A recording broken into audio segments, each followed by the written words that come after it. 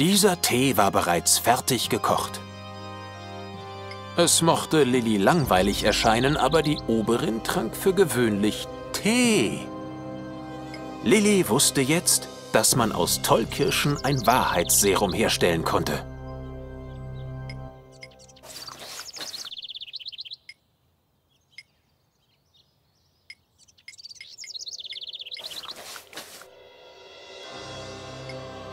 Lillys Spezialtee war fertig. Sie nannte ihn Pure Wahrheit, eine Räubusch-Tollkirschen-Mischung.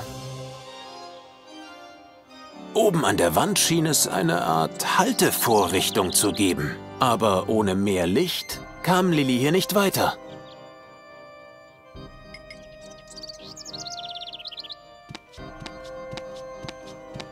Eine brennende Fackel hätte hier sicher mehr Licht ins Dunkel bringen können. Leider war die Fackel aus. Lilly war trotzdem stolz, so viel über die Funktionsweise von Fackeln zu wissen.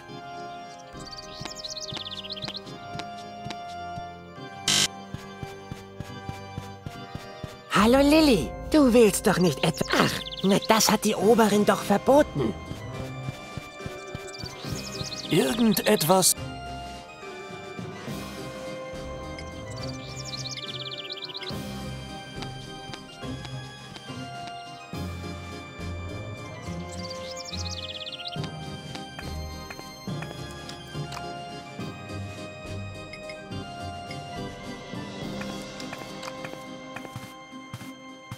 Aber was tut sie denn da? Gehört das ihr keine? Sie... Aber was tut sie? Ja, keine. Sie steht...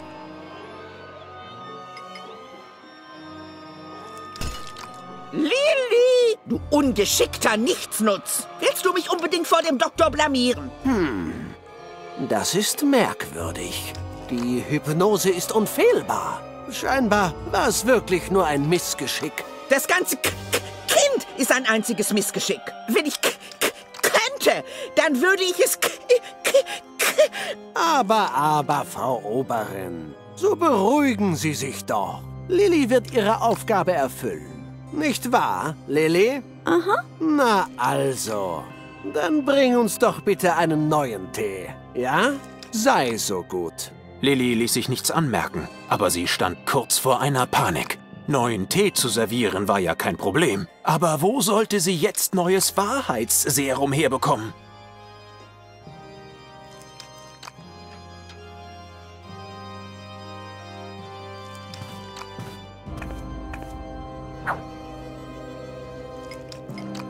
Neuen Tee zu servieren war ja kein Problem. Aber wo soll...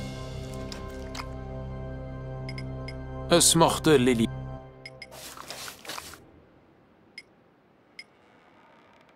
Lilly vermutete, dass die Tollkirschen denselben Effekt erzielen würden wie Garretts Elixier. Zumindest einen ähnlichen. Jetzt mussten sie nur noch gekocht werden.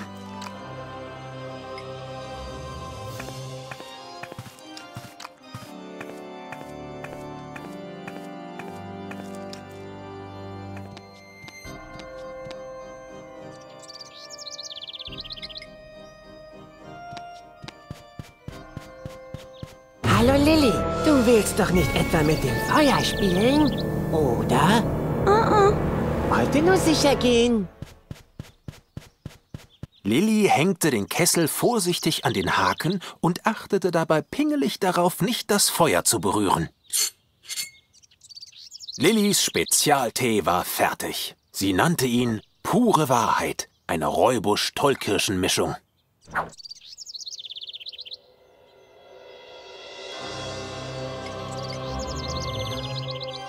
Der Haken war nur für die Teekanne bestimmt.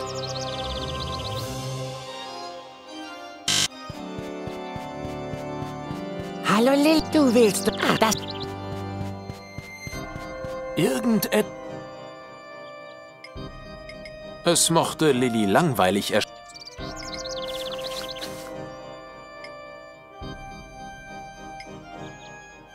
Lillys Spezialtee war fertig. Sie nannte ihn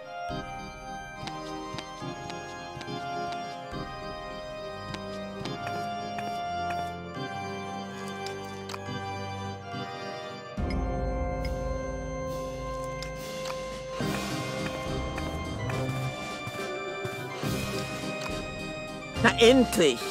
Es wurde ja auch Zeit! Dummes Ki, Ki, Ki!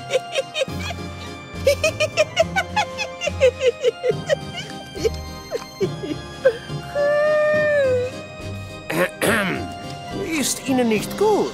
Sie sind ja geradezu hysterisch. Es ist diese Stickerei. Sie erinnert mich an meine K K Zeit.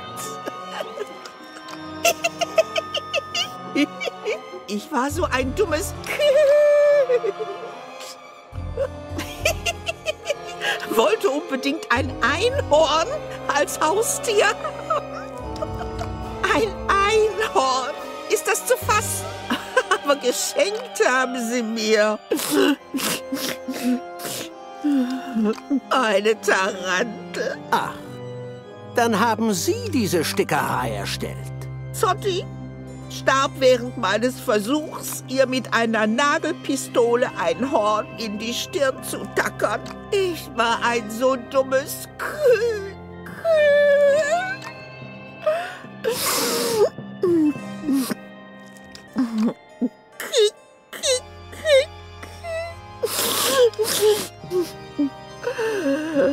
Ich hasse Kinder.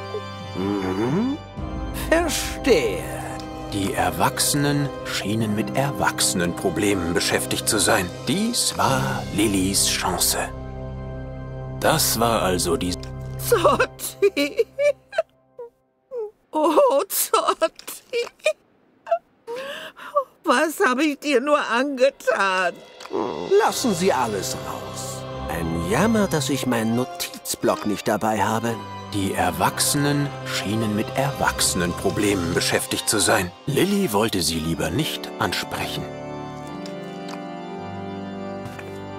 Lilly hatte bereits genug Tassen.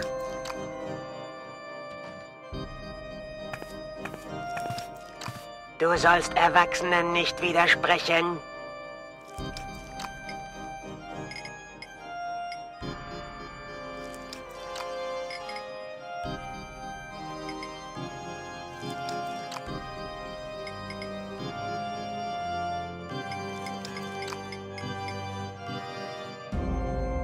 Der lustige Hase mit den Leucht... Ob Lilly...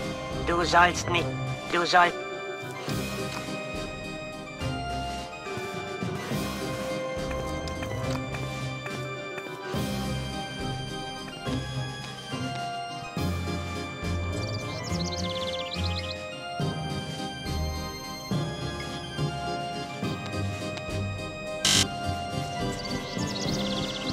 Hallo Lilly, du willst doch nicht etwa mit dem Feuer spielen? Oder? Ach, natürlich willst du das nicht. Das hat die Oberin doch verboten.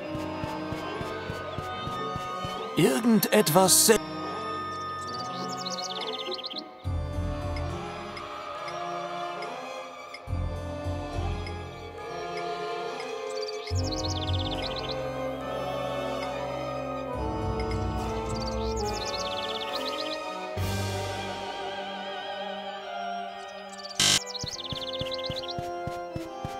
Hallo du. Ah, das.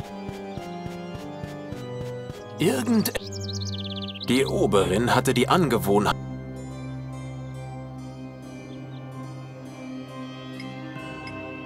Auf die Karte würde sie... Sie recht...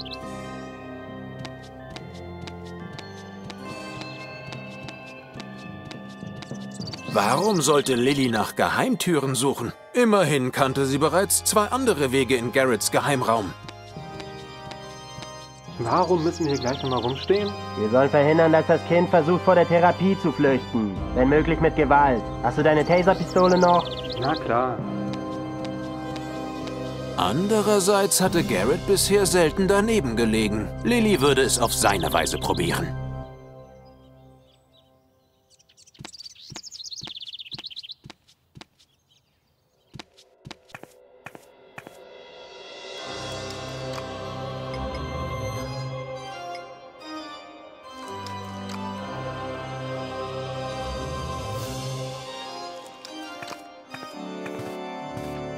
Du sollst keine spitzen Gegenstände benutzen. Du sollst keinen Alkohol anrühren. Du sollst dich nicht an gefährlichen Orten herumtreiben. Du sollst nicht die Kontrolle verlieren. Und niemals sollst du tun und lassen, was du willst. Du sollst Erwachsenen nicht widersprechen. Du sollst nicht lügen. Du sollst nicht mit Feuer spielen.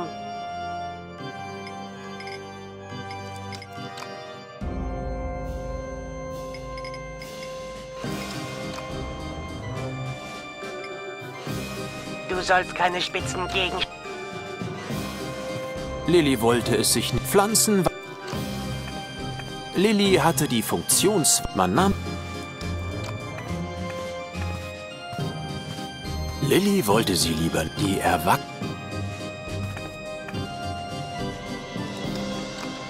Es mochte Lilly... gemacht, Lilly. Ich habe alles gehört, was ich hören wollte. Die Oberin ist offenbar vollkommen gaga. Ich hatte schon so etwas vermutet. Jetzt schnell, komm zu mir in den Geheimraum. Es gibt eine geheime Tür in der dunklen Ecke vor dem Büro, direkt neben dem Außenkamin. Ach, verdammt. Du kannst natürlich kein Licht machen, weil du nicht mit Feuer spielen darfst. Das hatte ich ganz vergessen. Einen Moment. Lass mich nachdenken. Ich glaube, ich habe eine Idee. Es gibt keine Möglichkeit, eine durch Hypnose installierte Blockade zu durchbrechen. Es sei denn, du wirst erneut hypnotisiert. Es ist riskant, aber du könntest dich selbst in Trance versetzen, um die Blockade direkt in deinem eigenen Unterbewusstsein zu bekämpfen. Aber sei gewarnt, die Welt der Trance ist ein unheimlicher Ort. Wie ein paralleles Universum, das nur in deinem Kopf existiert. Sie ohne die Führung eines geschulten Hypnotiseurs zu durchwandeln, ist nicht ganz ungefährlich. Und die Blockaden, die der Doktor dir auferlegt hat, müssten dort mächtige Dämonen sein, die du nur im geistigen Zweikampf besiegen kannst. Hast du alles verstanden? Das musst du auch nicht. Noch nicht. Benutz einfach die Puppe, um dich selbst zu hypnotisieren. Und sobald du in Trance bist, suche den inneren Dämonen, der dich am Feuermachen hindert, und vernichte ihn.